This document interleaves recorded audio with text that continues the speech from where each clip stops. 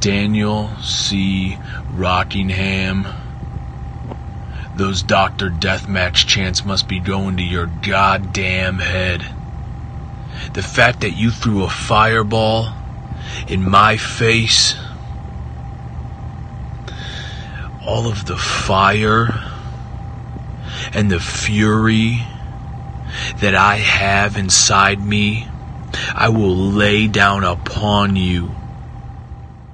Bring your boy ego too, cause I've got enough for him.